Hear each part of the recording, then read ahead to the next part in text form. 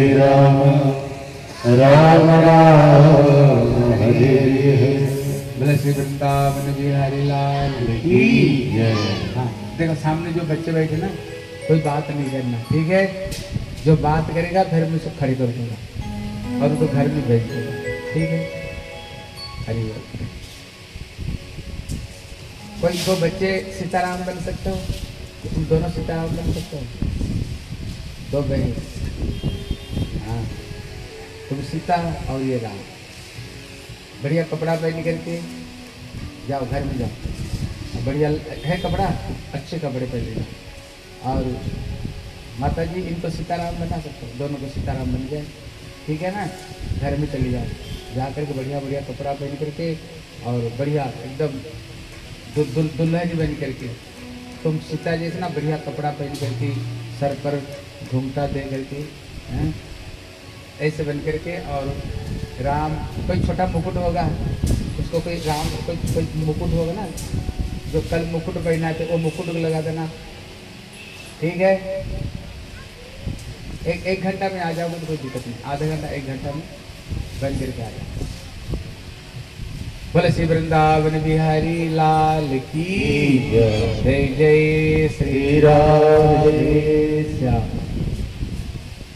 सर्वप्रथम मेरे गुरुपाद पद्म, नितलीला प्रविष्णु विष्णुपाद, अष्टोत्तर शत श्री श्री श्रीमद भक्ति श्री रूप सिद्धार्थ गोस्वामी महाराज जी के चरणों कमल में अनंत कोटि साष्टांग दंडवत प्रणाम करता हूँ। तत्पश्चात मेरे शिक्षा गुरुदेव, नितलीला प्रविष्णु विष्णुपाद, अष्टोत्तर शत श्री श्री श्रीमद भक्ति वेदांत श्रीला नारायण गोस्वामी महाराज जी के चरणों सहज में श्रद्धा पुष्पांजलि अर्पण करता हूँ। उपस्थित वैष्णव वैष्णवी माता पिता भाई बहन सभी को मैं यथायोग्य प्रणाम करता हूँ।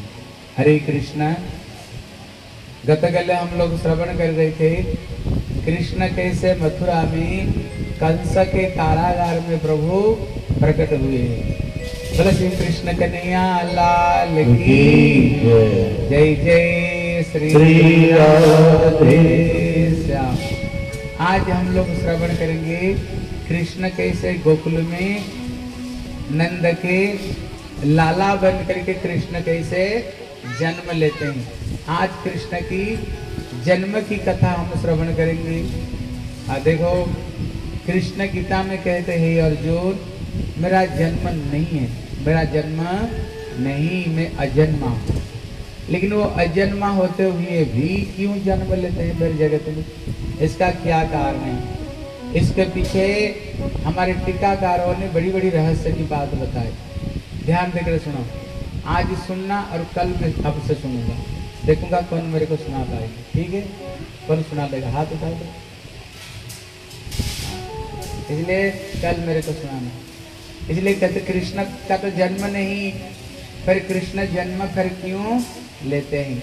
इसका एक कारण कृष्ण अर्जुन को कहते हैं।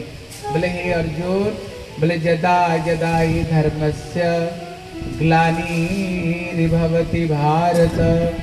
अद्भुता नम धर्मस्य तदात्मान सृजाम्य बोले, हे अर्जुन, मेरा जन्म नहीं है, मैं अजन्मा हूँ। लेकिन जब जब इसी जगत में अधर्म बढ़ने लग जाए गो, ब्राह्मण, पृथ्वी के ऊपर में अत्याचार होने लग जाती है।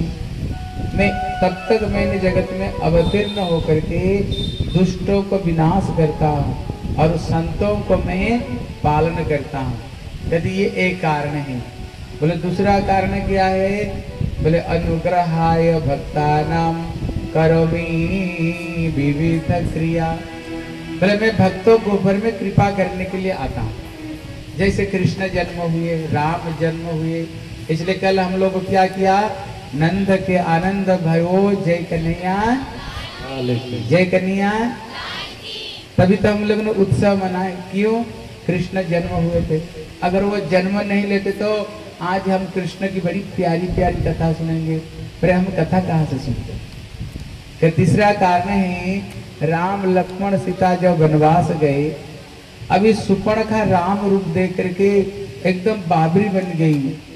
बोले, प्रभु, मेरे से ब्याह कर लो। बोले, मेरे तो ऑलरेडी एक सीता है। और एक लेकर क्या करूँ? बोले, और एक कर लो शादी। हैं? बोले, नहीं, मैं तो सीता के सिवाय और किसको मैं शादी नहीं कर सकता हूँ। इतने में लक्ष्मण गया था लकड़ी लेने के लिए। जब लक्ष्मण लकड़ी लेकर के आए, इतने में बोले, ये कौन है? बोले, ये मेरे छोटे भैया। भैया, ये भी तो बड़े सुंदर है। बोले इससे मैं शादी कर सकती हूँ।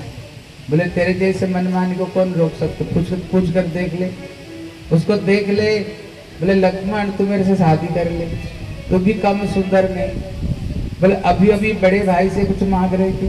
बोले, वो मेरे प्रेम को नहीं समझाए तू ही मेरे प्रेम को समझोगे। इसलिए शादी कर ले। बोले, ये बताओ, दासी बनोगे ना रानी? बोले, रानी बोले, मैं तो प्रभु का सेवक हूँ। अगर मेरे से शादी करोगे ना, सेवा करते करते थक जाओगे। और कहा तू रानी बनने की स्वप्न देख रही हो? या राम से पूछ, राम फिर राम को पास में गई। राम ने इनकार कर दिया। अभी तो सुपर्ण खा को बड़ा क्रोध आया। बोले, जानते हो मैं कौन हूँ? बोले, मैं रावण का बहन हूँ। मैंने प्रार्थना करने नहीं आई हूँ। ये सीता को अभी मैं खा जाती हूँ। फिर तो शादी करोगे ना? अभी जब सीता को खाने के लिए गई, राम ने लक्ष्मण का आदेश दिया, इसका नाक कान काट दो। लक्ष्मण उसकी नाक कान काट दी। लेकिन कहते वही जो सुपर्णखा थी द्वापर युग में फिर ये कुब्जा बन करके आती है और भगवान इसकी इच्छा पूरी करते हैं ठाकुर जी। कहते, ये एक कारण है। अब लोग गिर रहे हो, माताएँ इधर उधर मत देखा करो। हरि बोल, देखो, ये माता है ना, कोई अगर एक साड़ी पहन करके आ जाए, बोले, देखो, आज कितना सुंदर साड़ी पहन करके आए कल कैसे साड़ी पहन के आज कैसे साड़ी पहन करके आई। इधर उधर देखा मत करो, साड़ी तो बहुत भयंकर हाँ इसलिए, हरे कृष्ण, कथा सुनो। बोले श्री वृंदावन बिहारी लाल की जय। जय। श्री राम। हरे कृष्ण। इसलिए कहते ये एक कारण है। कहते चौथा कारण क्या? बोले जिस समय भगवान राम जनकपुरी में गए अपना गुरु जी विश्वामित्र से बोले गुरु जी थोड़ी आदेश दे दो। मैं थोड़ी सी ये जनकपुरी दर्शन करके आओ तो दर्शन करना नहीं दर्शन दे करके आओ इतने में राम लक्ष्मण जब जनकपुरी में प्रवेश किए, और ठाकुर जी इतने सुंदर ठाकुर जी इतने सुंदर थे। अभी ठाकुर की सुंदरता को देख करके पूरा जनकपुरी में हल्ला हो गया। क्या दो सुंदर बालक आए? बड़े सुंदर दो बालक आए हैं। एक श्याम रंग के, एक गौर रंग के, एक पीताम्बर और एक नीलाम्बर पहने। क्या प्रभु की दो जोड़ी जिस गली में जाए बोले श्री राम लक्ष्मण की। जय। जयकार कोई नहीं दे रहे हो। ज़ोर से बोलो। बोले श्री राम लक्ष्मण की। अब जिस गली में जाए उसी गली में ही हल्ला हो जाए। और जितने किशोरिया थी ना सीता जी की जितने सहेली हैं जो किशोरिया थी वो सब के सब प्रभु को दर्शन करने के लिए आ गई। कोई झरोखे से देख रही थी कोई छत को ऊपर से देख रहे थे, झाँक झाँक करके। लेकिन भगवान राम कभी सर उठा करके नहीं देखते थे। हर समय सर को नीचा करके चलते थे। और जो छत में थी, जो झरगो से तो देख रही थी, लेकिन जो छत के ऊपर में थी ना, उनकी प्रभु का दर्शन नहीं हो रहा था।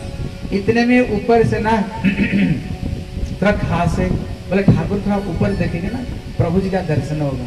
लेकिन राम तो इधर उधर देखने वाले है नहीं। हैं, वो ज़िंदगी में कभी दूसरे स्त्री की तरफ़ में कभी देखे ही नहीं। अपना सीता को छोड़कर और किसको तरफ़ में कभी देखे ही नहीं, हैं? इसलिए प्रभु ऊपर सर ऊपर ही नहीं कर रहे।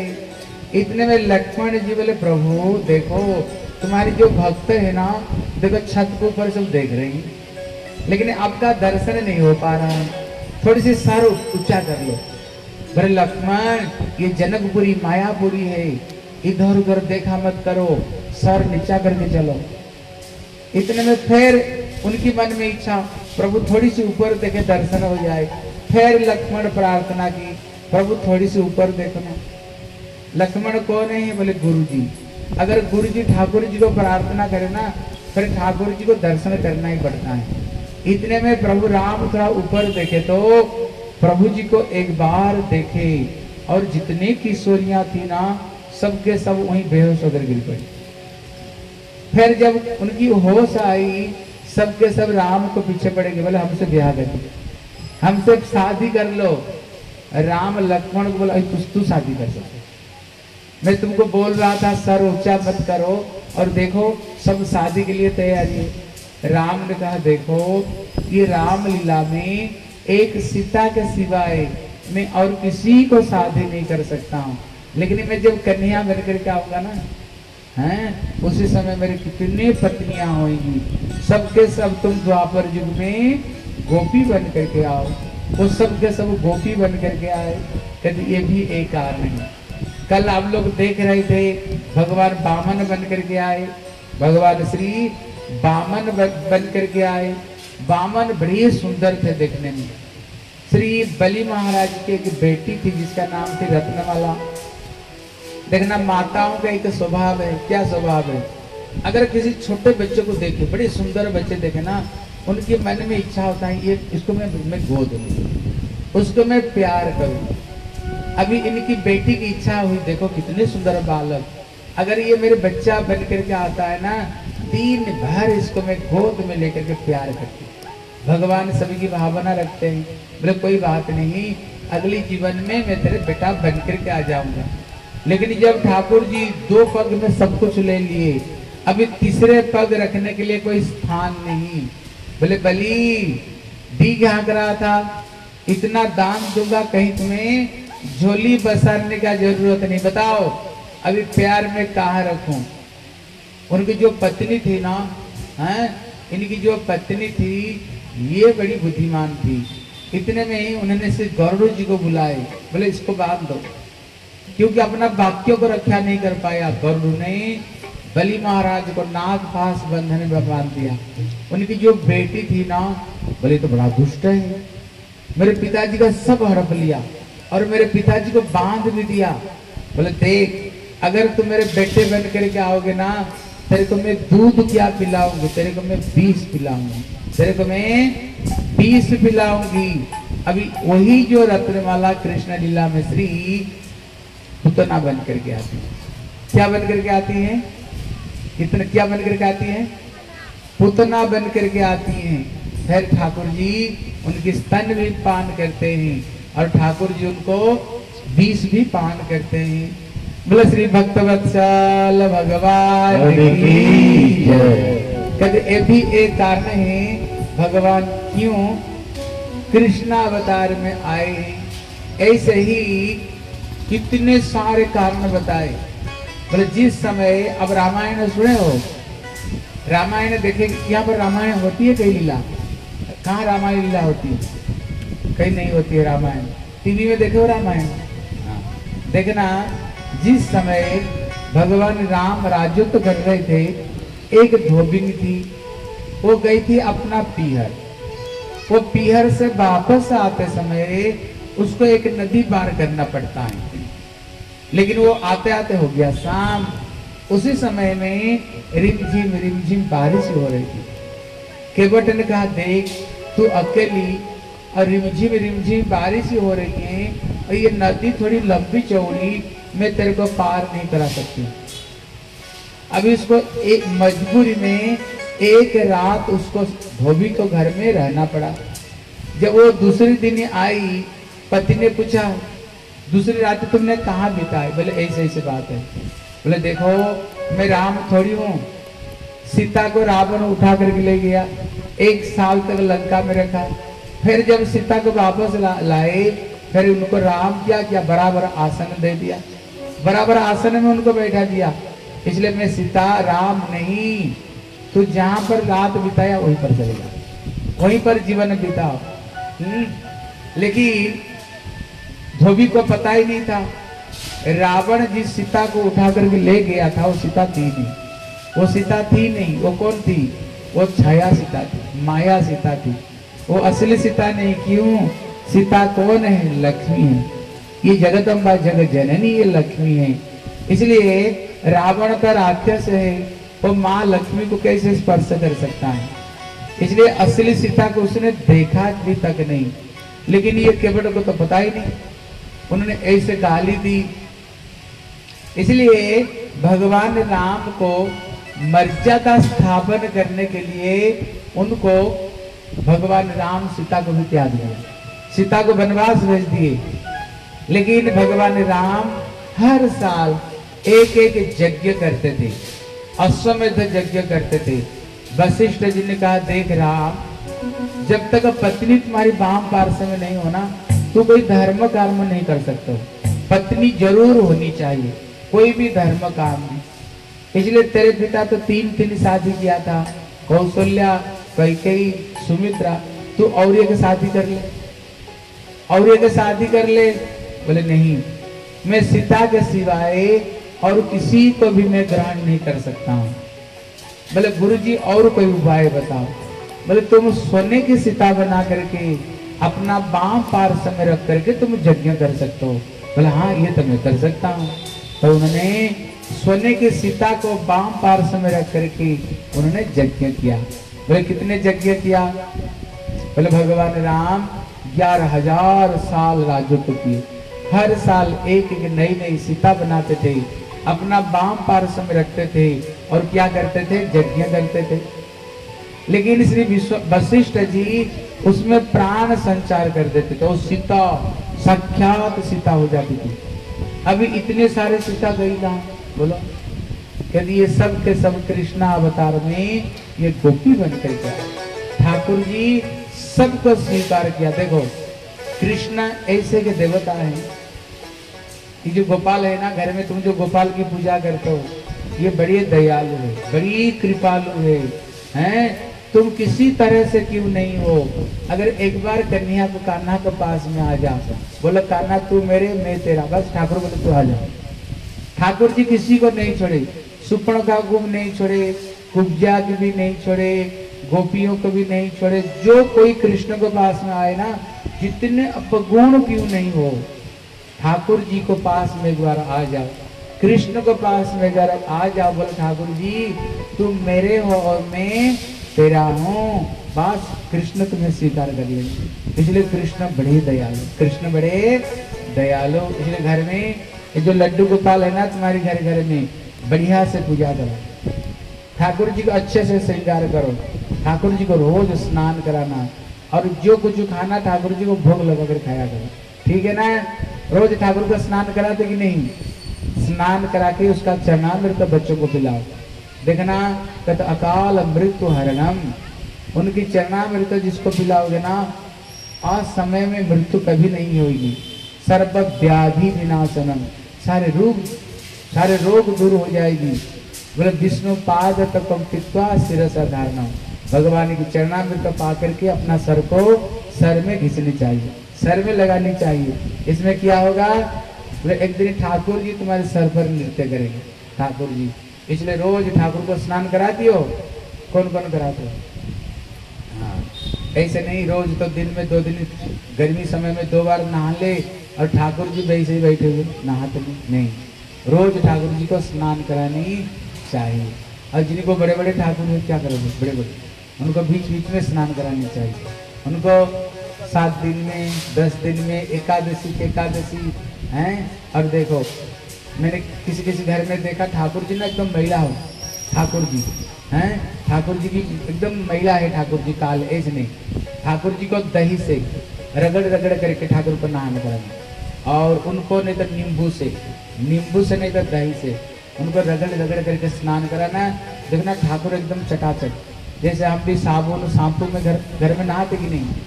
नहाते हो ना साबुन, शाम्पू से? जब ठाकुर को भी ऐसे नींबू से नहीं तो ठाकुर को दही से। उसको अच्छे तरह से करके स्नान करा के जो तुम लोग सिंदूर लगाती है ना थोड़ी सी सिंदूर से ठाकुर जी को घस घस करके घिस घस कर घीस देना। फिर देखोगे ठाकुर जी एकदम चमचमाएँगे ठाकुर जी एकदम चमचमाए में ठाकुर जी। इसलिए बोले श्री वृंदावन बिहारी लाल की जय जय श्री राम। ऐसे ही ठाकुर जी अजन्मा होते हुए भी ठाकुर जी जन्म लेते हैं।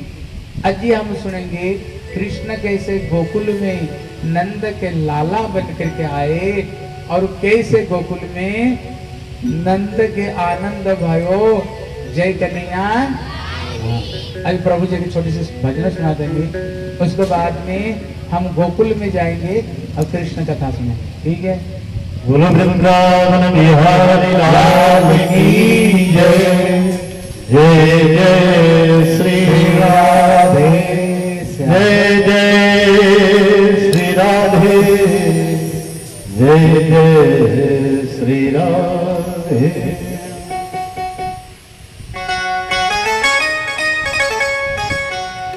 वृंदावन मकरम रस की कर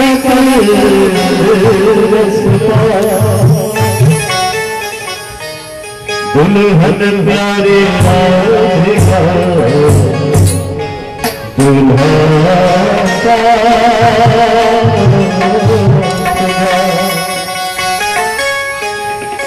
राधे तू बड़ भाग्य कौन तपस्या तीनों लोग तारे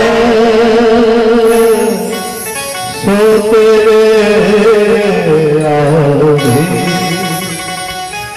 बोलो बरसाने वाली की जय।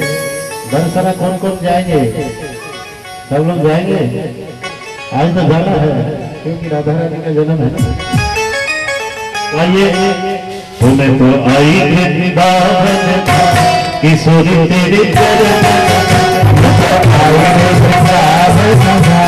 किशोर तेरे चरण किशोरी तेरे चरण में। राधे तेरे चरण तेरे चरण राधा तेरे चरण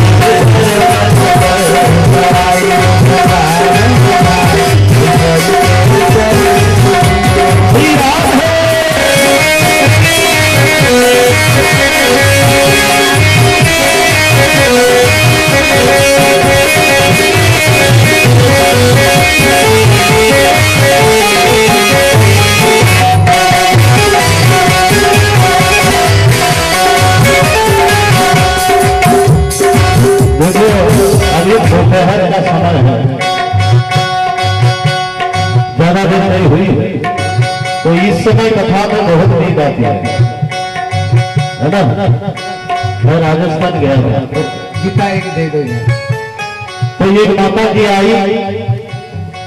और बोले, बेटा, खाने की बोलो। राजस्थान में। मैंने कहा माता जी बोलो। बोले, ऐसा है, खाने की बोलो। थारी कथा तो इतनी अच्छी है, इतनी अच्छी है। मैंने कहा, अच्छी क्या सुनी आपने कथा में? क्या प्रसंग में क्या सुना? बोलो कोनी कोनी बतो मैंने कहा, फिर क्या बतो बोले, ऐसा है मैं दिन में नींद की गोली दस दस खाऊं तो मानी गोली नींद आवे अखारी कथा में बैठ सही नहीं जाए ठीक है? तो इसलिए नींद बहुत जल्दी आती है कथा में। मीठी मीठी से बिल्कुल हल्की सी नींद आती है। तो इसलिए सभी लोग खाली बजा के एक बार क्या बोलना है? हाँ? हाँ ज़ोर से बोलो। हाँ प्रेम से बोलेंगे ताली बजा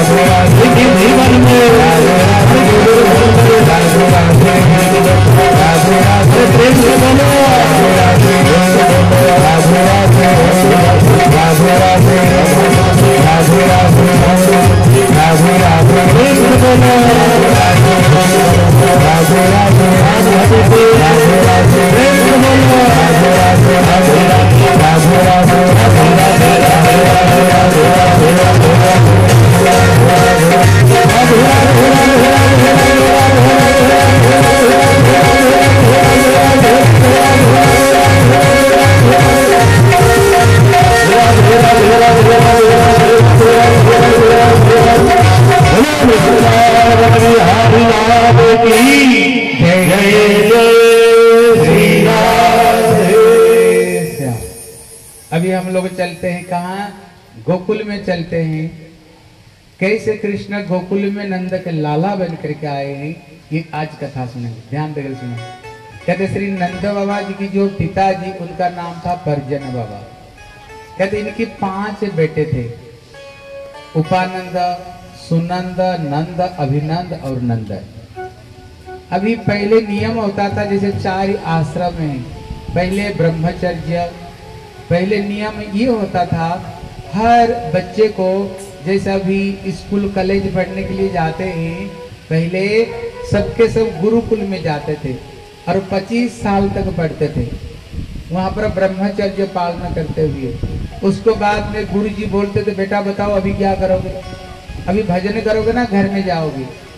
जो समझ लेता था, ये जीवन दुर्लभ है। ये चौरासी लक्ष जन्म को बाद में मिला हमें और इसी जीवन में ही भक्ति कर सकते थे।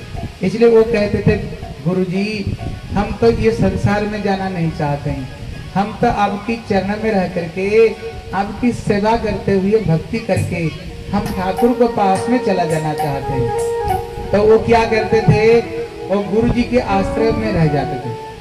लेकिन जिनकी संसार की ज़्यादा वासना बगैर शादी के रह नहीं सकते गुरु जी बोलते थे, बेटा, घर में जा। घर में जाकर लव मैरिज नहीं करना। लव मैरिज नहीं करना। तुम्हारी पिता माता जहाँ तुम्हें शादी करा देंगे, अपना परिवार के अनुरूप वहीं पर शादी करना। और दोनों पति पत्नी मिल करके क्या करो? ठाकुर को सेवा करो। भगवान की भक्ति करो दोनों पति पत्नी, और बच्चों को भी भजन बनाओ। और ऐसे भक्ति करो घर में लगे जैसे हम भगवान के धाम में रह रहे हैं। जिस घर में ठाकुर को सेवा, पूजा, भक्ति हो, जिस घर में बेटा भी भजन मैया भी भजन, पिता भी भजन, जिस घर में बच्चे सब भजन करते हैं ना, वही घर ही भगवान की धाम है।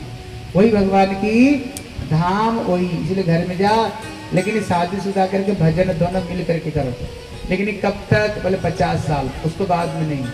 इसलिए देखो, पचास को बाद में जो अंक आता है ना, एकावन। क्या अंक आता है? एकावन। बोले घर में नहीं, वृंदावन जाओ। बावन। चौबन ये बन बन शब्द आता है। इसलिए भागवत कहता है, पंचास ऊर्धे बनम ब्रज।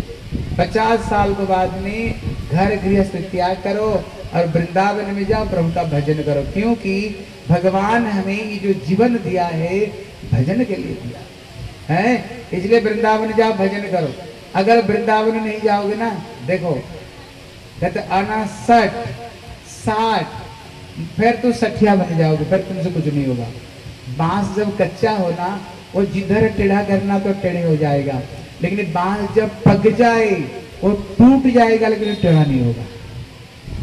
इसलिए बोले अड़सठ, साठ इकसठ बासठ। लेकिन उसमें एक शब्द आता है अनहत्तर क्या आता है? अनहत्तर सत्तर, इकहत्तर। बोले देखो, तुम्हारी जीवन में कल्याण हो सकती है। बोले, कैसे कल्याण होगी? गोस्वामी जी कहते हैं, सठ सुधर सत संगत पाए। अगर तुम्हारे जीवन में कोई शुद्ध साधु की दर्शन हो जाए, जीवन में शुद्ध संत दर्शन मिल जाए, तभी तुम्हारी कल्याण होगा। नहीं तो कल्याण नहीं होने वाले। ठीक है ना? इसलिए क्या करनी चाहिए? भगवान की सत्संग करके, भगवान की भक्ति करनी चाहिए। एक बार हाथ उठा करके बोलो। बोलो, हरे कृष्ण हरे कृष्ण कृष्ण कृष्ण, हरे हरे हरे राम हरे राम राम राम, हरे हरे। और एक बार बोलो बोलो, हरे कृष्ण हरे कृष्ण कृष्ण कृष्ण, हरे हरे हरे राम हरे राम राम राम, हरे। हाँ देखो, ध्यान देकर सुना। अगर तुम पचास इक्यावन बावन, अगर वन नहीं जा पाया, अगर तुम वृंदावन नहीं गए पाए, ऐसे कोई परिस्थिति नहीं। अरे, कम से कम अपना घर में तो भजन करो, ना दिन भर वगैरह हुक्का खेचो हाँ? हुक्का पीते रहो। नहीं, समय मिले तो समय को बर्बाद नहीं करना, माला लेकर भजन करो। माला में ठाकुर का नाम करो। समय को बर्बाद मत करना, ठीक है ना? बैठ करके उसकी छोरी, उसकी छोरा के बारे में ज़्यादा चर्चा मत करो। भगवान की नाम जप करो। हाथ से कभी माला नहीं छूटनी चाहिए, भले ही दुनिया छूट जाए, लेकिन माला को क्या करो? हर समय माला को अपना पास में रखो, माला नहीं छूटनी चाहिए। है, ठीक है ना? देखो, यहाँ पर देखो सुना इधर कथा के बाद में ज़रूर कुछ रंग चढ़नी चाहिए। ना रंग तो चढ़नी चाहिए, नहीं, कथा खत्म, हम भी खत्म नहीं। हर समय माला, देखो देखो माता जी देखो, माला दिखाओ तो तुम्हारी, देखो। हाथ में माला जब कर रही देखो यहाँ पर दो तीन गोपियाँ हैं जो माला लेकर बैठी है। और हमारी सुनीता दीदी को देखो, और उसको पीछे क्या नाम तुम्हारी? देखो माला जब कर रही है। भगवान की माला, ये माला नहीं, ये माल है। ये माला नहीं, माल है। और यही माल ही काम में आने वाली। ठीक है ना? इसलिए हर समय क्या करना कहीं बाहर जा रहे हो माला को लेकर के जाओ गले में माला रखो बड़ी गाड़ी में बैठे हो समय को क्यों बर्बाद करोगे? प्रभु का माला जप करो ना ठाकुर का नाम जप करो। बढ़िया हो गया। इसलिए भगवान की नाम जप करो। इसलिए अगर हमारी कल्याण हो जाएगी अगर जीवन में सत्संग अगर मिल गई इसलिए श्री परिजन बाबा का जब उम्र हो गया पचास साल, देखे और हमें घर में नहीं रहनी चाहिए। हम दोनों पति पत्नी, हम अभी बन जा करके भजन करनी चाहिए। इन्होंने पाँच बेटे को बुलाया, बोले, इधर आओ। पाँच बेटे आए, बोले, देखो, हमारी उम्र अभी पचास साल हो गया। अभी पचास साल बाद में जब एक एक बाल पकता है ना मतलब क्या ऊपर जाने का आ गया, ऊपर जाना समय आ गया। इसलिए ऊपर जाने से पहले अपना कल्याण कर दो, अपना कल्याण सोच लो, हैं? इसलिए मैं चाहता हूँ सबसे बड़े बेटे को राज सिंहासन में बैठा करके दोनों पति पत्नी अभी वृंदावन में भजन करना चाहते हैं। लेकिन बड़ा बेटा बोले, पिताजी, यद्यपि मैं बड़ा बेटा हूँ, लेकिन राजा बनने का जो योग्य है ना, ये मझिला भैया नंद इसलिए उसका नाम नंद। नंद मतलब इति नंद। सबको जो आनंद दे। कितना नंद के आनंद भयो जय कन्हैया। उन्होंने क्या आनंद दिया है? उन्होंने कृष्ण को जन्म दिया। भगवान कृष्ण को जन्म दिया। और जो कृष्ण भजन करेगा, वो तो आनंद आनंद में रहेगा आनंद आनंद में रहेगा। इसलिए उन्होंने नंद को उन्होंने सिंहासन में बैठा दिया। और बैठा करके दोनों पति पत्नी चले गए। भजन करने के लिए दोनों पति पत्नी चले गए। जब भजन करने के लिए चले गए, अभी चार ही भाइयों को तो बच्चा है, लेकिन नंद बाबा घर में कोई छोरा नहीं। इसलिए उन्होंने एक छोरा के लिए कितने यज्ञ, कितने तपस्या, कितने दान, बहुत कुछ जीवन में किया। लेकिन घर में संतान नहीं। किसी तरह से संतान नहीं। एक दिन नंद ध्यान देकर सुनो। एक समय नंद जसोदा सोच रहे हैं, हमने सारे बार व्रत कर लिया। अभी तक एक व्रत हमने नहीं किया। कौन सा व्रत? बोले एकादशी। एक एकादशी जिसका नाम पुत्रदा एकादशी। कहते द्वादश युक्त जो एकादशी, वो विशेष महत्व है। बोले अभी तक हमने ये एकादशी व्रत नहीं की। चलो हम दोनों पति पत्नी एकादशी व्रत रखते हैं। दोनों पति पत्नी एकादशी व्रत रखे जब एकादशी व्रत रखे, ब्रह्म मुहूर्त में एक स्वप्न देखा। क्या स्वप्न देखा? आकाश में एक सुंदर बालक, काले रंग के, श्याम रंग के, चमचमाते हुए। और देखा उनको पीछे एक सुंदरी लड़की, एकदम गोरी रंग की, है, गोरी रंग की। पहले वो काले रंग के छोरा और उसको पीछे के छोरी गोरी रंग के दोनों आए और नंद बाबा के हृदय में प्रवेश किया। और इनके हृदय में प्रवेश करते हुए उन्होंने जसोदा के हृदय में प्रवेश किया। ये नंद बाबा ने स्वप्न देखा और उन्होंने क्या स्वप्न देखा? बोले, श्याम, चंचल, चारु, दीर्घ नयन, बाल स्तवांक अभी ब्रह्म मुहूर्त में कोई स्वप्न होना करके सही होता है। अभी दोनों की नींद खुल गई। जसोदा बोली, नंद बाबा को, बोले, मैंने एक सुंदर स्वप्न देखा, मैं नंद बाबा बोले, मैंने भी एक स्वप्न देखा। बोले, बताओ, तुमने क्या देखा? बोले, मैंने देखा, मेरे पीछे पीछे एक सुंदर बालक मेरे पीछे पीछे आ रहा है और कपड़ा खींच करके बोले, मैया मैया, मेरे गोद में ले ले, मेरे को दूध पिला दे मचल रहा था। मेरे को स्वप्न नहीं लगा, सचमुच से कोई बालक है। नंद बोले, मेरे स्वप्न देख ले। बोले, बताओ। बोले, मैंने भी देखा तेरे गोद में एक सुंदर श्याम रंग का बालक पौड़ रहा है। और तुम्हारी स्तन पान करते समय उनकी दोनों धार से दूध बह रहा था और कुर्ता भीग रहा था उसको। मेरे को स्वप्न नहीं लगा लगा तेरे गोद में बच्चा है। और उसी रात को ही मैया जसोदा ने गर्भ धारण की। ब्रज में मंडल हल्ला हो गया भैया। मैया जसोदा, हैं, लाला जन्म देने वालों है। और जितनी गोपियाँ थी ना गुजरी तो जितनी गुजरी थी सबके सब छह छह महीना पहले चौरासी चौरासी गज की लहंगा चुंदरी बना करके रखी। बोले, नंद के लाला होगा तो हम इसको पहन करके बधाई देने जाएँगे। अभी एक बड़ी बड़ी गोपी, देखो, पहले तो मशीनी नहीं होता था, अभी मशीनी लगा करके पता लगा लेते हैं, बेटा होगा ना, बेटी होगी। छोरा होगी ना, छोरी होगी। पहले बड़ी बूढ़ी माताएँ कुछ इंगित से बता देते थे बेटा होगा ना बेटी होगी। एक बड़ी बड़ी गोपी, मैया जसोदा तो बोले, देख, तेरे गर्भ में ना लाला छोरा होने वाले हैं। बोले, पता कैसे चलो? बोले, तेरे जो होठ है, वो पीला पीला दिख रहा है। मतलब तुम्हारी घर में छोरा होगा। एक गोपी बोली, तुमने जब कुंवारी पड़ में जुड़ में तो नहीं खा ली थी? बोले, क्यों? बोले, लगता है तेरे पेट में दो बच्चा है। तुम्हारे गर्भ में एक बेटा और एक बेटी होने वाली। सचमुच से कृष्ण और जोग माया उनकी गर्भ में दो संतान थे। अब देखना, पेट में जो बच्चे होते हैं, माताओं को चटपटी चीज़, खट्टा, मीठा, मिर्च, ये सब चीज़ें अच्छी लगती हैं। मैया जसोदा बोले, मेरे को तो खीर खाने की इच्छा कर रही है। बड़ी सुंदर खीर बनाए, ठाकुर जी को भोग लगाए और उनको खीर खिलाए। और देखो, माताएँ ध्यान देकर सुनो एक होता है गर्भ संस्कार। गर्भ संस्कार मतलब क्या? जो गर्भ में बच्चा हो, हमें उल्टा पुल्टा फ़िल्म नहीं देखनी चाहिए। गद्दी गद्दी फ़िल्म नहीं देखनी चाहिए, हैं? फिर तो बच्चा ना बड़ा बदमाश बन करके आएगा। बचपन से छोटा बोतल पकड़ेगा ना, फिर बड़ा होकर के बड़ा बोतल पकड़ेगा। और बचपन में अगर छोटा बंदूक पकड़वाओगे, फिर बड़े बन करके बड़ा बंदूक फिर वो पकड़ेगा। समझ रहे हो? इसलिए गर्भ में बच्चे रहते हुए क्या करो? भगवान की सुंदर सुंदर तस्वीर देखो। गीता पढ़ो, रामायण पढ़ो। देखो वो जो बच्चा है, कितने अच्छा बच्चा बनेगा।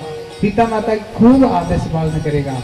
पिता माता की सेवा करेगा। समझ रहे हो? अगर उल्टा पुल्टा फ़िल्म देखोगे, फिर बच्चा बिगड़ता हुआ बच्चा।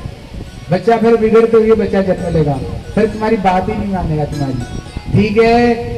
अभी इनकी गर्भ संस्कार जिसको कहते हैं। अभी ऐसे लग रहा था आज रात को ही लाला की छोरा की जन्म हो जाएगा हैं? नंद बाबा की एक बहन थी, जिनका नाम थे सुनंदा। क्या नाम था? क्या नाम था उसकी? सुनंदा, नंद बाबा की बहन। वो तो छह महीना पहले घर में बैठी गई। बोले, क्यों? बोले, भाभी गर्भ धारण की ना अगर भाभी की बेटा होगा तो मेरे को नवला की हार मिलेगी। वो छह महीना पहले आकर घर में बैठी गई। और घर का सारे काम काज को वही कर रही थी। लग रहा था आज रात को ही कोई बालक की जन्म हो जाएगी। बोले, एक काम करो, गाँव में देखना, पहले आठ बजे तक जगे रहते थे। उसके बाद में सो जाते थे और सवेरे सवेरे उठकर भजन करते थे। इसलिए बोले, इसके बाद में दो घंटा दो घंटा ड्यूटी लगवा दो, ढोलकी दे दो मजीरा दे दो चिमटा दे दो सबके सब ठाकुर का कीर्तन करे। पता नहीं कब बालक की जन्म हो नहीं जाए। इतने में ही जोग माया ने किया की आई और जो कीर्तन कर रहे थे, बोले, गोविंद, जय जय, गोपाल, जय जय, गोविंद, जय जय, गोपाल, जय गोविंद, जय जय, Gopal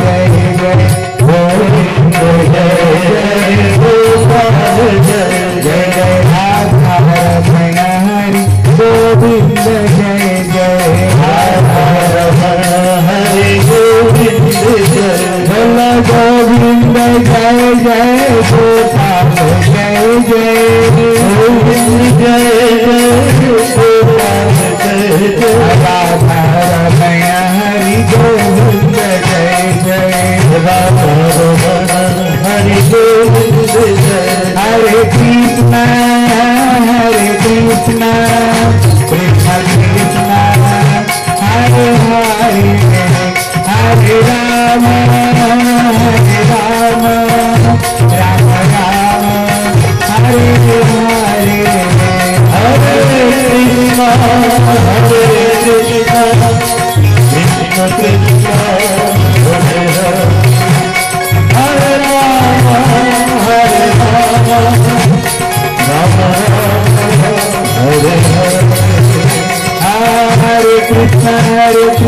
Krishna Krishna Krishna Hare Hare Hare Hare Hare Hare Hare Ram हरे राम राम राम हरे हरे हरे कृष्ण हरे कृष्ण कृष्ण कृष्ण हरे हरे हरे राम हरे राम राम राम हरे हरे कृष्ण हरे कृष्ण कृष्ण कृष्ण हरे हरे हरे राम हरे राम राम राम हरे हरे हरे कृष्ण हरे कृष्ण कृष्ण कृष्ण हरे हरे हरे बोल हरे बोल हरे बोल हरि बोल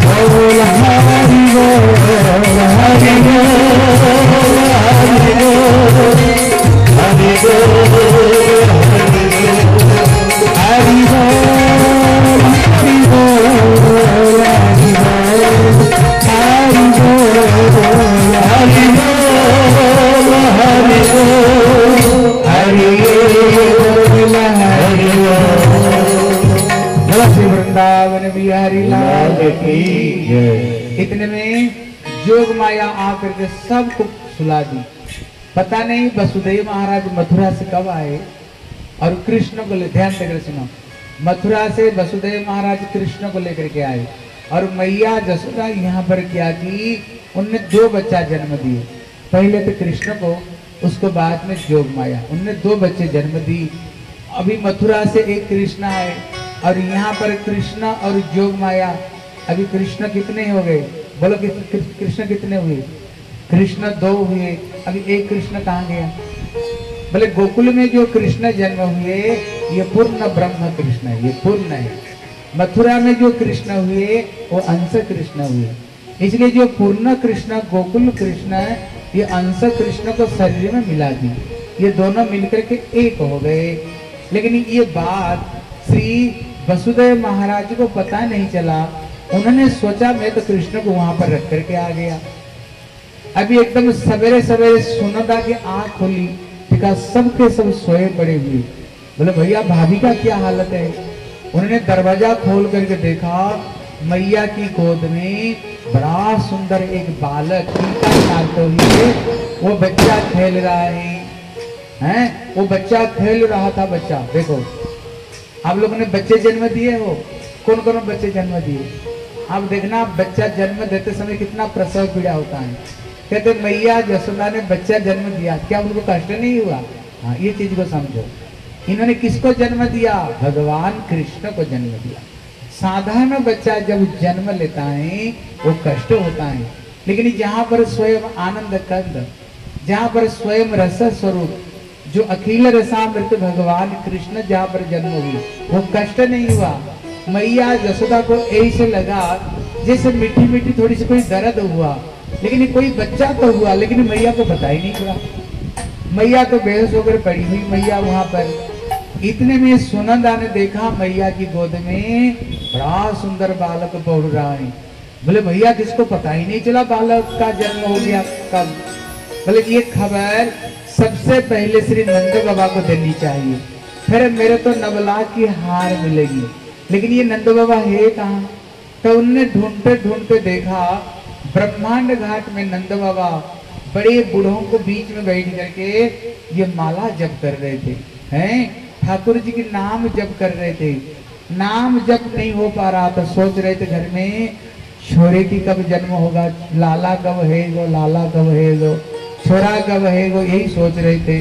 इतने में सुनंद आकर के बोले, भैया, कमाल है गए इतना बोलते ही नंद बाबा तो छलांग लगा दियो। बोले, बहन कहा, भाई हो बोले, भैया, पहले बताओ मेरे को क्या मिलेगा? बोले ने नवला की हार ली। तू तो छह महीना से आकर बैठी हो, हैं? भैया की बेटा होगा तो मेरे को नवला ले नवला की हार ले ले। बोले, भैया, और क्या मिलेगा? बोले नवला की हार दिया इतने में पेट नहीं भरा। बोले, भैया, बात है ना, बहुत बड़ी बात है। बता, और क्या दोगे? बोले, देख, ये जमुना किनारे में जितने खेती है ना जमीनी जायदाद है। तेरे नाम पर सब लिखा दिया। आज से तू मालिक बन जा। खुश हो गई कि नहीं? बोले, नहीं, बता, और क्या दोगे? बोले, तेरे को नबला की हार दे दिया और सारे जमीनी जगह तेरे पर नाम लिख दिया। अभी तेरा पेट नहीं भरा। बोले, नहीं, बात बहुत बड़ी है, जिसको सामने ये कुछ भी नहीं। बता, और क्या दोगे? ले ले ट्रेजरी का सारे चाबी का ले ले।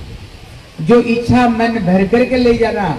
लेकिन ये बता तो सही, घर में कहा भयो है? बोले भैया तेरे घर में लाला भयो है। बोले श्री नंद के लाला अरे नंद बाबा की इतने आनंद भयो। नंद बाबा तो वहीं से दौड़ लगाए और कितने उन्होंने यज्ञ तपस्या उन्होंने क्या क्या नहीं किया। एक लाला की जन्म लेने की वजह से।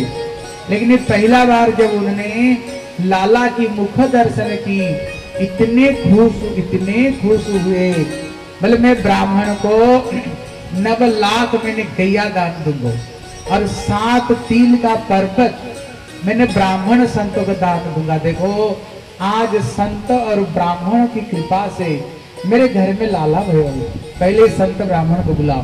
इनकी हाथों से बच्चों को आशीर्वाद दिलाते हैं।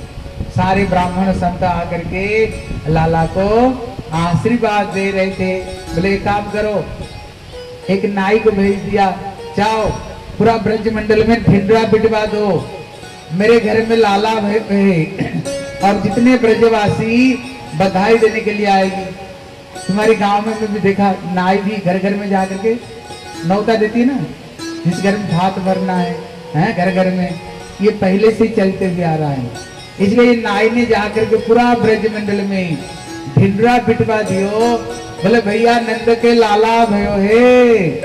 जितने गोपियाँ सब धज करके सोलह श्रृंगार, द्वादश आभरण पहन करके दूध, दही, मक्खन, मिश्री लेकर के बधाई देने के लिए आओ। अभी जितने गोपियाँ सुंदर श्रृंगार करके आ रही हैं। और आते समय कानों में कुंडल पहनी रखी थी। ये कुंडल ज़ोर ज़ोर से हिल रहा था। बोले, क्यों? बोले तुम लोग पहुँचने से पहले हमें छोड़ दो। हम जा करके लाला की बधाई दे, दर्शन करें, हैं? और चोटी में सुंदर सुंदर माला की, फूल की माला से अपना चोटी को श्रृंगार की थी ये दक्षिण देश में हर स्त्रियाँ शाम को, दक्षिण में हर स्त्रियाँ शाम को ज़रूर फूलों की माला से अपना चोटी को श्रृंगार करती हैं। हैं? ज़रूर फूलों की। तुम लोग कभी किए हो? तुम्हारे शादी का समय में किए होगी। लेकिन वहाँ पर रोज रोज, हैं? कुछ करेंगे। इसलिए सुंदर चोटी में सुंदर फूलों की माला से श्रृंगार करके जा रही थी। और एक एक फूल गिरते गिरते ये किस कहाँ पर? कहते गोपियों का चरणों के ऊपर में गिर रहा था। बोले, क्यों? बोले, जो लोग कृष्ण को बधाई देने जा रही हैं, इनकी चरण की हमें पूजा करनी चाहिए। चरण की इनकी पूजा करनी चाहिए। अभी जितनी गोपियाँ थी ना मैया यशोदा को बधाई दे रही थी। देखो माताएँ, जितने गोपियाँ बैठे हो, मैं बोलूँगा, मैया यशोदा बधाई हो, और तुम लोग को बोलना, बधाई हो बधाई हो। ज़ोर से बोलना, ठीक है? बोले, मैया यशोदा बधाई हो। आनंद तो आया, लेकिन थोड़ी कमी रह गया। और थोड़ी सी ज़ोर से बोलो, इतने गोपियाँ बैठी हो आज व्रत तो है नहीं ना आज कोई? चकाचक भोजन करके आएगी नहीं? हाँ थोड़ी ज़ोर से बोलो। बोले, मैया जसोदा बधाई हो मैया जसोदा बोली बधाई हो बधाई हो ब्रज की गोपियाँ। आज तुम लोगों को आशीर्वाद से ये बूढ़ी उम्र में भी लाला का मुख दर्शन करने को मिलो है। ये लाला मेरो नहीं, ये लाला तुम सबका लाला है। और जितनी गोपियाँ थी ना, जितने लाला को बधाई दे रही थी, क्या बोल रही थी? जुग जुग जियोरी जसोदा मैया तेरो ललना जुग जुग तुमका मैया तेरे जपना जुग जुग जियोरी जसोदा मैया तेरो ललना जुग जुग तुमका मैया तेरे जपना मैया तेरो ललना मैया तेरो ललना मैया तेरे ललना मैया तेरे ललना जुग जुग जियो मैया तेरो ललना जुग जुग जियो जियो मैया तेरे जपना ये सब के सब कन्या को आशीर्वाद दे रहे थे, हैं? अभी सारी गोकुल के सब माताएँ गोप आ गई। अभी दो व्यक्ति अभी तक नहीं आए। कौन? वृषभन महाराज कीर्तिका सुंदरी। ये कौन है? राधा रानी की पिता और माता। क्योंकि ब्रज में दो राजा हैं, एक नंद राजा और एक वृषभन महाराज। ये दोनों में बड़ी मित्रता। इनके घर में कोई उत्सव होगा ना, ज़रूर उनको बुलाएँगे। और इनकी घर में कोई उत्सव हो, ये ज़रूर इनको बुलाएँगे। अभी नंद बाबा वृषभन महाराज को नौता दी मेरे घर में, लाला भयो है, आप बधाई देने के लिए आओ। इतने में देखते देखते श्री वृषभन महाराज कीर्तिका सुंदरी अभी सभा में प्रवेश किया। बड़ी सुंदर लट झट श्रृंगार करते हुए जब उन्होंने प्रवेश किया अभी मैया कीर्तिका मैया, अपना सर के ऊपर में एक मटकी में दूध, एक में दही, एक में मिश्री, एक में घी लेकर के आई थी। एक गोप ने लठिया लेकर गया, वो मटकी को इसे मारी। मारते ही मटकी तो फूट गई और वो दूध दही से पूरा के पूरा कीर्तिका सुंदरी स्नान कर लिया। देखो, एक दधिकादी होता है। दधिकादी मतलब दही में हल्दी और उसमें घी मिला करके एक दूसरों के ऊपर लगाते। ये मंगलवाची है। एक दूसरों के ऊपर में लगा रहे थे और इतने दूध दही वहाँ लाए थे। वहाँ तक एकदम किच किच हो गया। और फिसल फिसल करके एक दूसरों के ऊपर में गिर रहे थे, हैं, और गा रही थी। बोले नंद के आनंद भयो। जय कन्हैया लाल की। आनंद के आनंद भयो। कन्हैया लाल की। आनंद के आनंद भयो। जय कन्हैया लाल जय जय कन्हैया लाल की। हाथी घोड़ा लाल जय जय कन्हैया लाल की। हाथी घोड़ा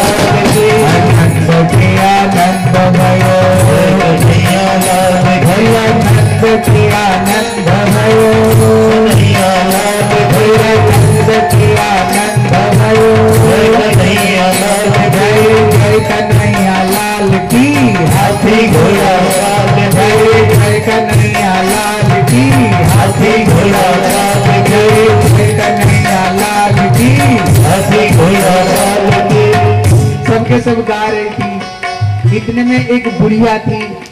जो सौ साल की सौ साल की एक बुढ़ी माता जी जिसकी दांत जिसमें मुँह में एक भी दांत नहीं। यहाँ पर ऐसे कोई है जिसकी मुँह में एक भी दांत नहीं? माता जी बैठी है ना? हाँ। देखो एक बूढ़ी माता जी थी। वो बूढ़ी माता जी वो देख रही थी बोले भैया नंद उत्सव बड़े ज़ोर के हेरे हुए और वहाँ पर जो मक्खन डेले की डेले उठा करके एक दूसरे को फेंक रही थी। और एक छोरा ने किया किया, एक मक्खन की डेला ली, और वो जो बूढ़ी माता जी एक भी दांत नहीं, उसको लक्ष्य करके उसको मुँह में मारे। मारते ही मुँह में लगते ही एक तो दांत थी नहीं, पूरा अंदर में सटल गई। बोले, भैया, नंद महोत्सव में कोई भूखे नहीं रहते हैं हैं? इसलिए सब प्रसन्न होकर के सबके सब नाच रहे थे, गा रहे थे। लेकिन वहाँ पर नंद बाबा बैठे बैठ कर देख रहे थे और सबके सब नाच रहे थे। इतने में नंद का दर्शन आके जो गोप लोग थे। बोले, नंदो, आवाज़ तेरे घर में लाला भयो है। देख, सारे ब्रजवासी गा रहे हैं, नाच रहे हैं। और तू यहाँ पर मटक मटक कर देख रहे हो। अरे, आज का दिन थोड़ा नाच तो ले। आ जा, पकड़ करके ले आए। बोले, कहाँ लाए? बोले, उनके आँगन में। नंद बाबा राजा है, आँगन, बड़ा आँगन है। इतने दूध दही लाए थे? पूरा आँगन आँगन दूध दही से भर गया था। लग रहा था मान एक खीर समुद्र है। ऐसे लग रहा था। और नंद बाबा को बीच में लाकर खड़े कर दिए। नंद बाबा देखने में कैसे? बड़े लंबे चौड़े गौरव वर्ण के लंबे चौड़े। भगवान के पिता है ना? और उनने कमर में एक फेटा बाँध करके रखे थे। एक तरफ़ में नंदगांव के दूसरे तरफ़ में बरसाना के, दोनों गोपो दोनों तरफ़ में पकड़ लिए। ऐसे लग रहा था, मानो यहाँ पर खीर समुद्र मंथन होने जा रहा है, हैं? कल जो समुद्र मंथन आप लोगों ने सुना, देवता दैत्य मिलकर किए थे। एक रजोगुणी, एक तमोगुणी लेकिन यहाँ पर दोनों ही निर्गुण हैं। कल समुद्र मंथन में सबसे पहले बीस निकला, जिसको भोले बाबा पान की तो उनका नाम पड़ गया श्री नीलकंठ। क्या नाम पड़ गया? बोले नीलकंठ महादेव की। लेकिन यहाँ पर सबसे पहले कौन निकला? बोले, यहाँ पर सुखदेव गोस्वामी वर्णना करते हैं, नंदस्तु आत्मक जाता लाद मामना। यहाँ पर तो स्वयं आनंद कंद भगवान कृष्ण स्वयं यहाँ पर निकले। कल जो समुद्र मंथन से चौदह रत्न निकला था। लेकिन आज सुखदेव गोस्वामी कहते हैं, श्री नंद बाबा इतने धन दौलत को उन्होंने लुटाया। इतने धन दौलत लुटा रहे थे। लग रहा था मानो कृष्ण गोकुल में जन्म लेने पर माँ लक्ष्मी स्वयं अली गलियों में नाच रही हैं। इतने धन दौलत लुटाए। ब्राह्मण लोग तो थली भर भर करके ब्राह्मण लोग ले नहीं पा रहे थे। गठल की कोने से हीरे जवाहरात गिरते गिरते गिरते गिरते जा रहा था। अली गलियों में बिखर रहा था हीरे जवाहरात। इतने उन्होंने दान दिया। वहाँ पर श्री शंकर भी आए थे, माता पार्वती भी आई थी। नंद बाबा तो बीस लाख गैया दान, बच्चे किसके? गोद में रख नंद बाबा तो बीस लाख गैया उन्होंने दान दी आप लोग बताओ तो शंकर जी का वाहन कौन है? कौन बोलेगा हाथ उठाओ? शंकर जी का वाहन कौन? नंदी। ये नंदी बैल है। अभी तो तो डर गए, बोले क्यों? बोले, इन्होंने बीस लाख गैया दान दे रहे ऐसे नहीं गैया को दान देते देते मेरा वाहन भी नंदी है। मेरी बहन भी नंदी। अगर ये नंदी को अगर दान में दे दिया ना, भैया मैं बैठ कर कैसे जाऊँगा? फिर तो मेरे को चल करके जाना पड़ेगा।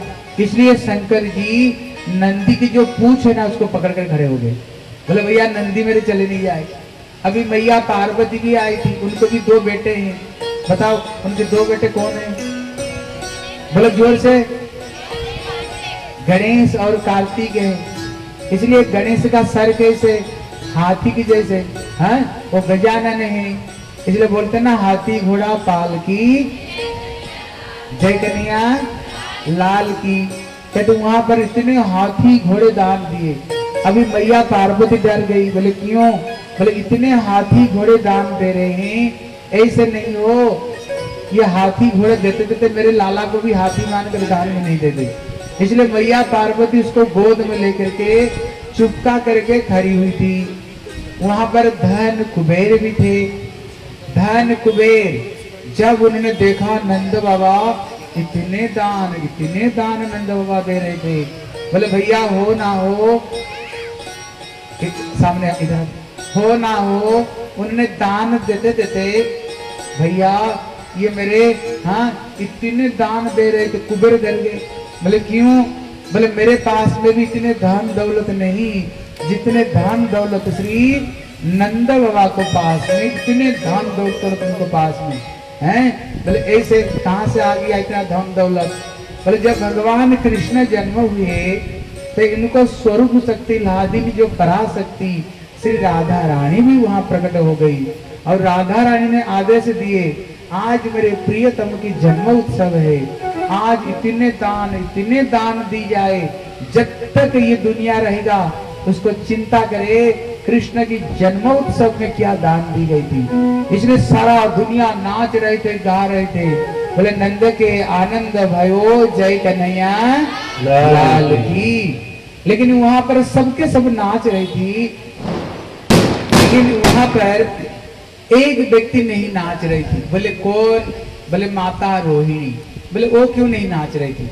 बोले वो थी प्रोसीत भद्रिका। क्या थी? वो क्या थी? कहते प्रोसीत भद्रिका। बोले प्रोसीत भद्रिका का मतलब क्या है?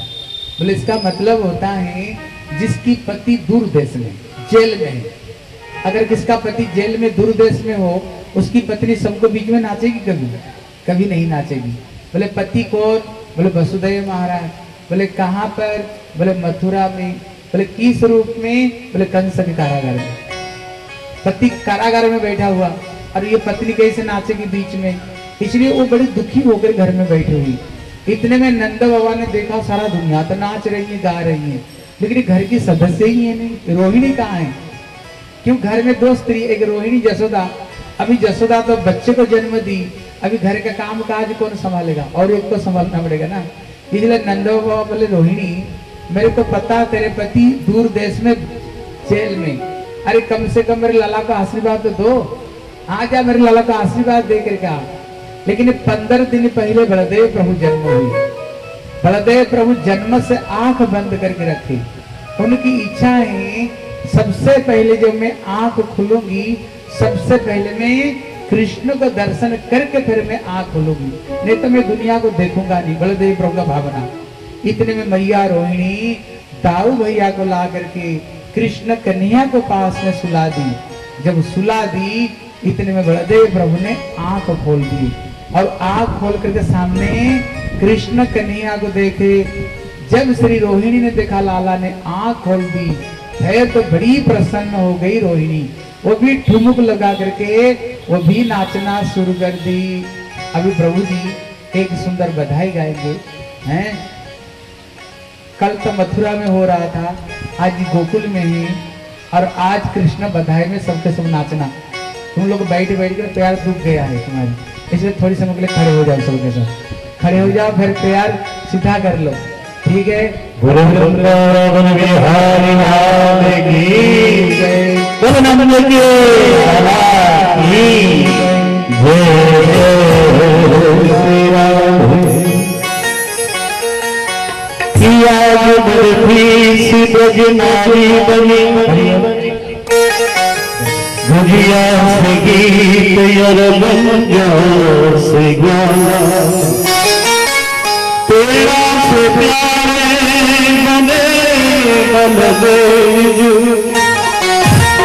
रस की सिदो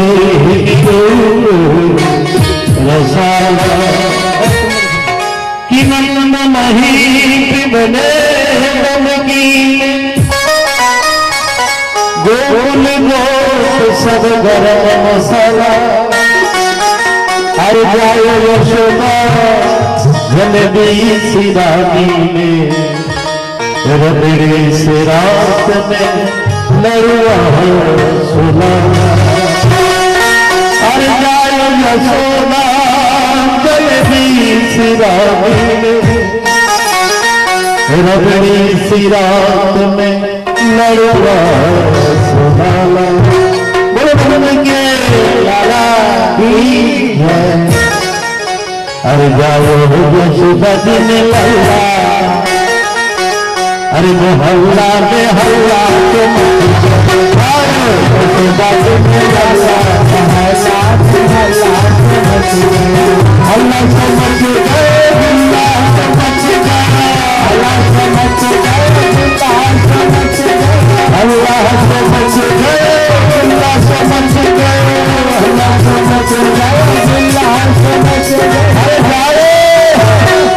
जाओ यशोदा सिंह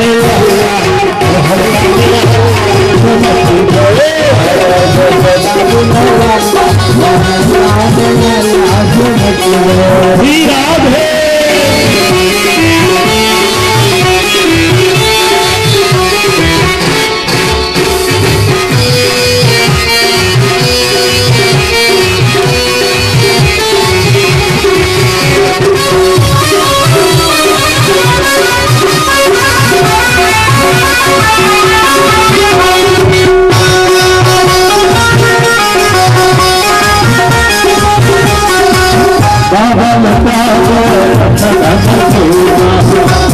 बाबा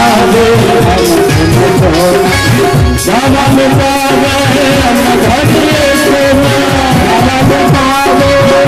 अरे भैया अरे भैया बाल बाबा अरे भैया हम बाबे नसीबा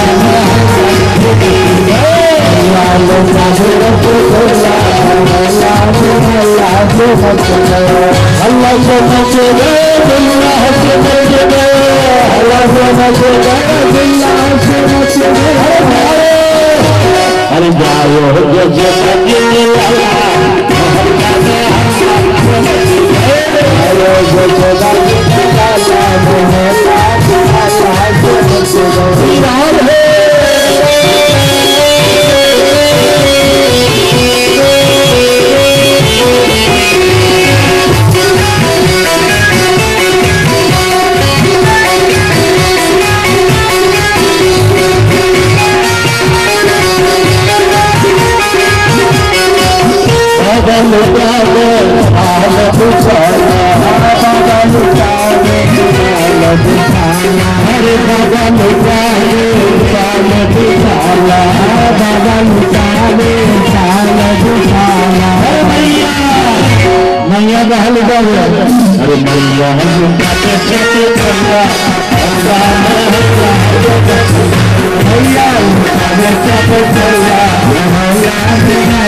अल्लाह से बच गए अल्लाह से बच गए अल्लाह से बच गए अल्लाह से बच गए जाए जाए जाए अल्लाह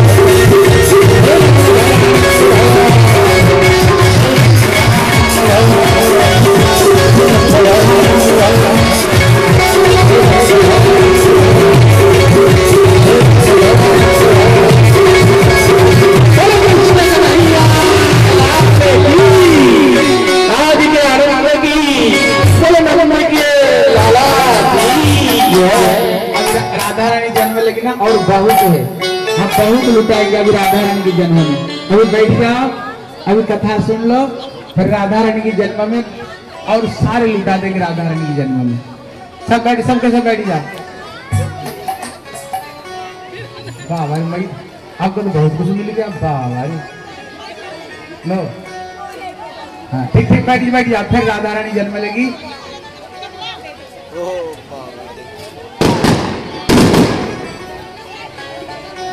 हाँ लो लो। बैठो ना, राधा रानी जन्म लेगी, उसमें भी देंगे। बैठो। राधा जन्म में बहुत मिलेगा बैठ जाओ। सभी बैठ जाए ये, ये बच्चे सब पीछे चले जाओ। ए बच्चों सबके सब पीछे चले जाओ। बच्चे सब पीछे चले जाओ। पीछे।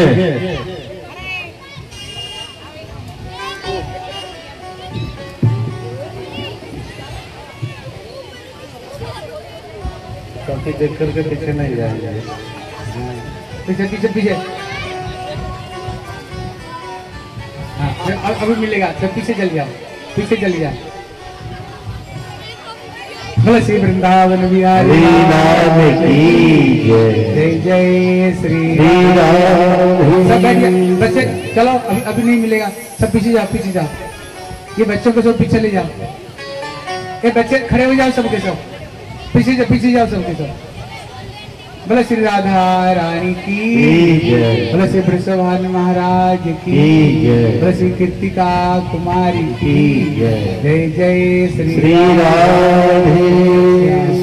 हरे कृष्ण। हाँ देखो अभी भगवान राम और और श्री सीता आने वाली है।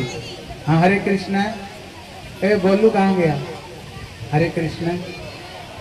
हरि बोल। एक बार हाथ उठा करके बोला वही केवल इंद्र सिंहासन में बैठ सकता। लेकिन दशरथ महाराज इतने प्रतापी थे, जब वो स्वर्ग में जाते थे, इंद्र स्वयं आधा आसन श्री दशरथ महाराज को दे देते थे। इतने प्रभावी। एक समय दशरथ महाराज जब जाते थे, उसी समय में स्वर्ग में एक सुंदर पारिजात फूलों की माला श्री दशरथ महाराज की गला में इंद्र पहनाया करता था।